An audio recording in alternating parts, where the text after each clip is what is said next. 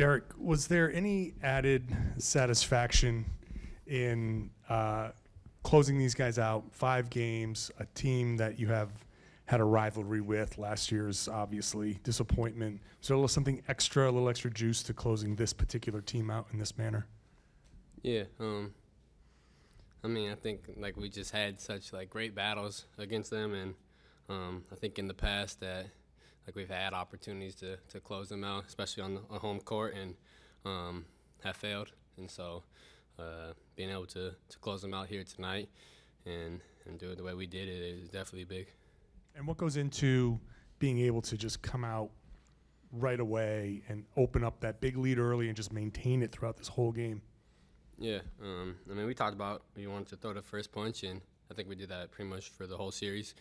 And, so, uh, just just being aggressive early, um, and then just having that pace and everything that we talked about the whole season, and we were able to doing a good job with that. Derrick, you bro- broke out a few new uh, celebrations the past few games. Uh, the pocket three, you know, getting hyped uh, by the bench, and at the same time, last game after those dunks you had, it looked like you were getting a little frustrated with the refs. You're getting amped up. Like, what's the balance in, especially in the playoffs, of having fun but also playing with that intensity, and how important is that balance? It's huge. Um, I mean, for me personally, I mean, I think that's when I'm at my best is when I'm having fun out there and um, just having fun with my teammates, um, whatever it might be, um, whether I'm supporting them or they're supporting me. Like it, it means everything to me. So um, I don't know, just out there having fun, messing around, um, but also realizing that like this is a big moment and and we're we're all locked in too. Derrick, uh, how much with this win it kind of set the tone for what you guys are trying to accomplish here? Uh, but the way you did it, and with this group of guys, how pleased were you with what you saw from start to finish in this series?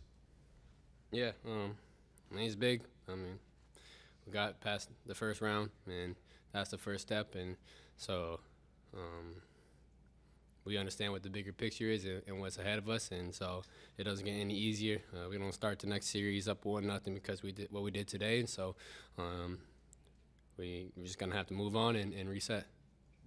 Derrick, a big theme this year has been growth as, as a group. And how did you guys go about growing in terms of your response from you know, game two and what you're able to do, three, four, and five, and the type of effort you pushed forward in those games? Yeah, I think uh, we've been doing this just all year. Um, I mean, we've had games where I don't know, it, you might seem like it was a, a big loss or something, but we just uh, bounce back, regroup, and um, everybody's just been on the same page this whole season. So um, it's the playoffs. There's gonna be ups. There's gonna be downs. Um, that's what makes it amazing. That's what makes it fun. And so uh, you just gotta be ready to not get too high on those wins and, and not get too low on the losses, and just keep keep improving and doing what we need to do. Derrick, what, what stood out about the first, you know, full effort without Kristaps? How you guys overcame that, and what did it call for from you to, you know, kind of step up in his absence in the offensive sense? Uh, for me personally, I don't think it changes much. Um, I mean, obviously, KP out there, and it's, it's a little bit different, but uh, I wouldn't say it changes anything for me. Um, obviously, we miss him, but Al steps up and, and does a little bit everything for us. So um, it's different, but it's still effective. You guys held the Heat under 90 points in each of the final three games. How much of that is a testament to how connected you guys were defensively and the effort it takes to protect the three-point line without getting beat on cuts or on the glass? Yeah, I mean that's the that's the team we want to be. Um, we got guys that up and down this roster that can, can guard and guard multiple positions and at a high level. So um, that's, that was a big it's a big emphasis, emphasis for us this the rest of this playoffs, and um, we're gonna have to we're have to get it done on that end the whole se- the whole playoffs. You don't have to go back to Miami. There won't be a game seven. Can you speak to having a little bit of breathing room and to recalibrate and rest and whatever plan for the next round? Yeah, um, I mean we're gonna uh, enjoy the tonight and then um, just prepare for uh, the match that we got next. Uh, I mean, obviously we don't know yet.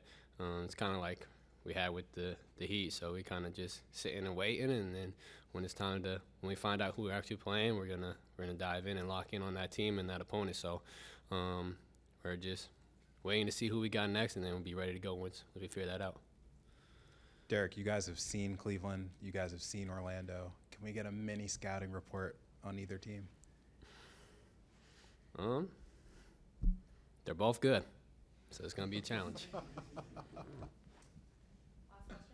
And could you just describe kind of your mindset in these types of games where you had obviously a big performance tonight and, off, and obviously in game four as well, where not just in terms of scoring, but impacting winning? Like how do you approach these games and how do they kind of draw the best out of you?